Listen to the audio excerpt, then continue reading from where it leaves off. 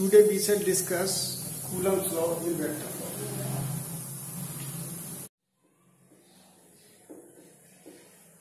By a distance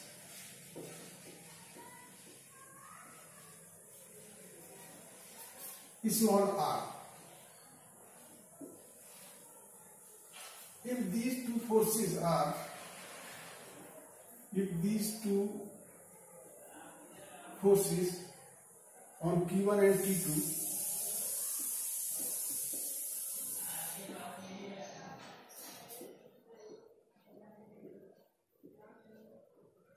are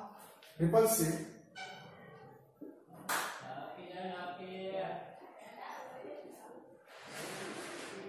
then the condition is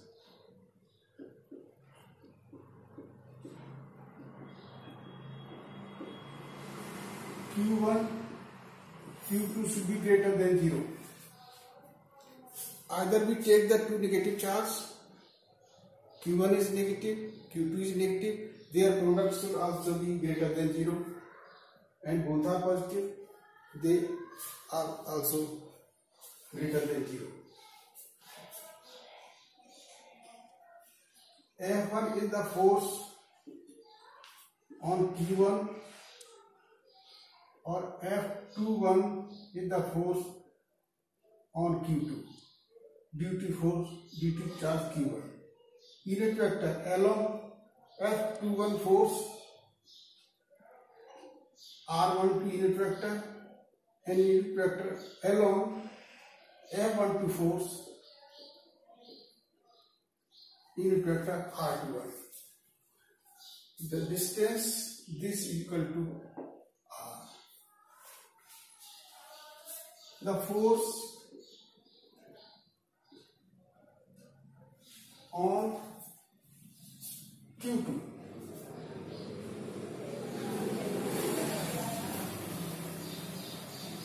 Due to force, due to charge, Q1. So F21 is equal to 1 upon 4 pi epsilon naught q1 q2 upon r squared and unit vector 1 that this equation is 1. Similarly,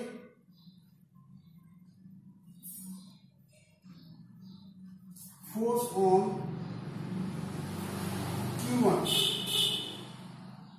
due to Q2 have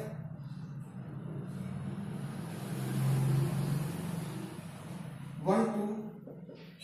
is equal to one upon four pi epsilon naught q one q two upon r square and unit vector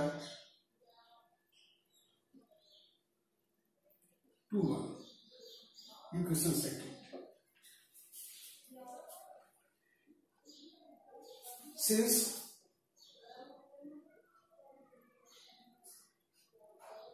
F12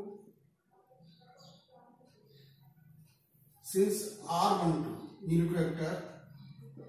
is equal to minus R21 unit vector. Their magnitude is unit, both the unit vectors R12 and R21. But their direction is opposite. opposite. So this negative sign indicates that the force F21 and F12 acting on Q2 and Q1 are opposite and equal from equation 3. Hence F21 vector equal to minus F12. So this is Coulomb's law in vector form. One one question one one question Q one and two should be greater than zero तब ये repulsive होगा और इस force की direction इधर को होगी और इस फोर्स की डायरेक्शन इधर को होगी now we shall discuss the position in position vector form of Coulomb's law.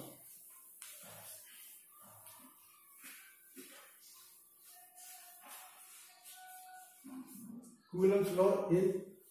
position vector law.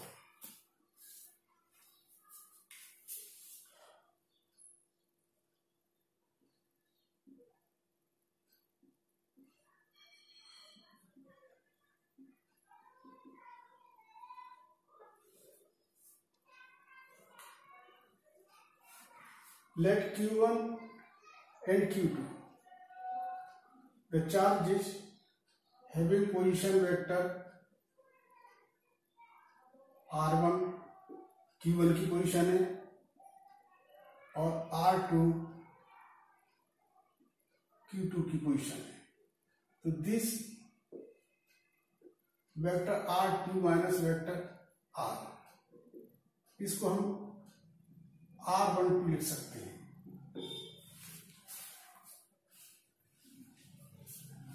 तो इसी तरह से इस पर जो फोर्स काम कर रहा होगा एफ टू वन और इस की वन पे जो फोर्स होगा उसकी डायरेक्शन एफ वन और दिस इसमें यूनिट वेक्टर इस साइड में होगा वो आर वन टू और इस साइड में होगा वो R two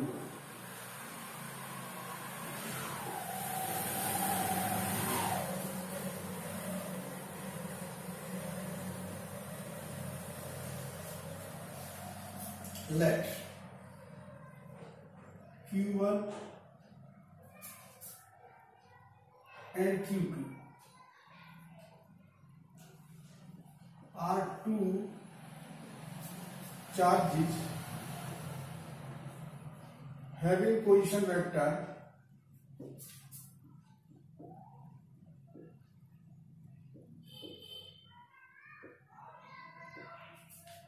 R and position vector R2, R1 and R2.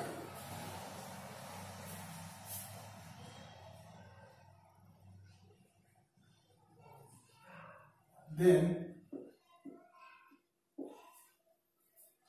force on Q2 due to Q1 F21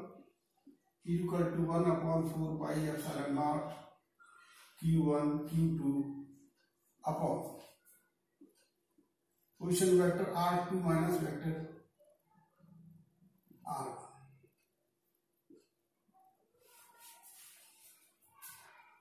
And unit vector along this R12. Now R2 minus R1 vector is equal to R2 minus R1. This becomes magnitude of this vector and R12 is the unit vector. Hence R one two unit vector equal to R two minus R one upon R two minus R one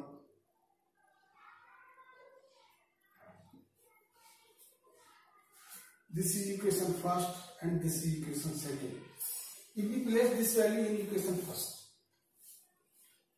F one F two one becomes 1 upon 4 pi epsilon naught q1 q2 upon r2 vector minus r1 vector mode and r12 r2 vector minus r1 vector upon mode r2 vector minus r1 vector So this equation becomes F21 vector equal to 1 upon 4 pi epsilon naught Q1 Q2 upon R2 minus R1 whole cube and vector R2 minus vector R1. This is the force on charge Q2 due to charge Q1. Similarly,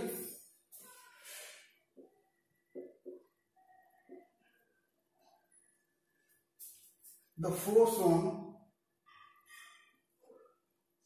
Q1 due to Q2 F12 is equal to 1 upon epsilon naught one Q two upon R one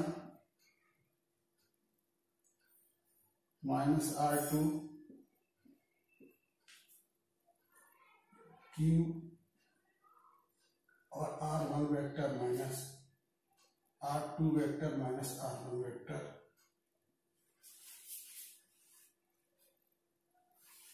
यहां पर आएगा R one minus 2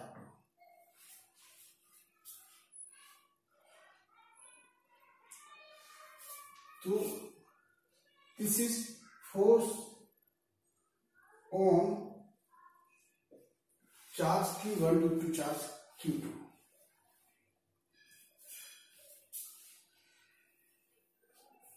So this is all about the position vector form of the Coulomb's law.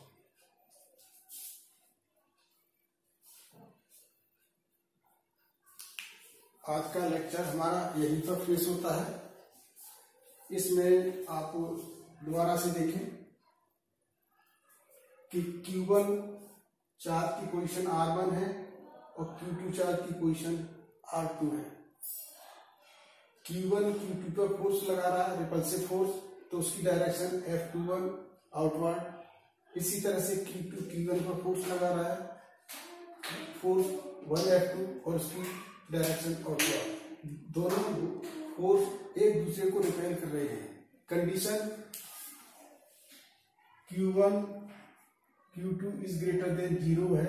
इसलिए ये repulsive force की condition को fulfil करते हैं अब हमको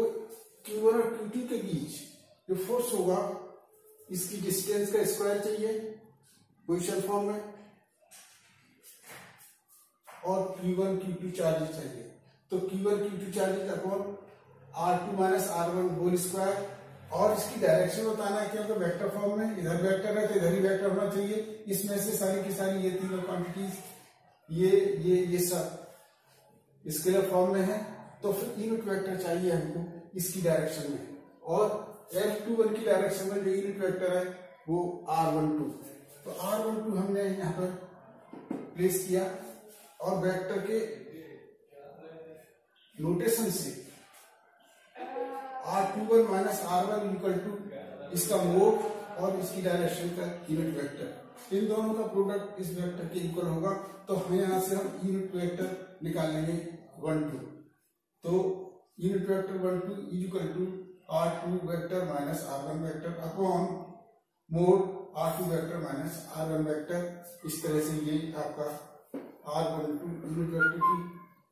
वैल्यू है इस वैल्यू को जब हम यहां पर रखेंगे तो ये हमारी इक्वेशन ये बन जाती है इसी प्रकार